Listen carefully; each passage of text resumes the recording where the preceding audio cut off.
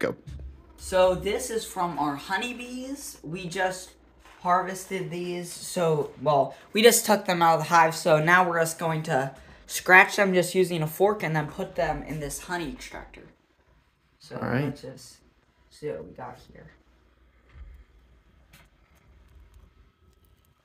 Yeah, scratch it pretty good.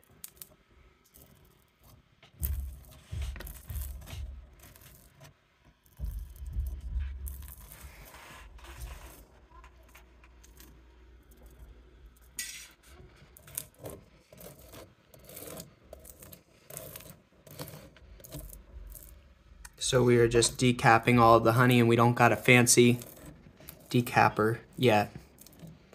But the fork works pretty good too.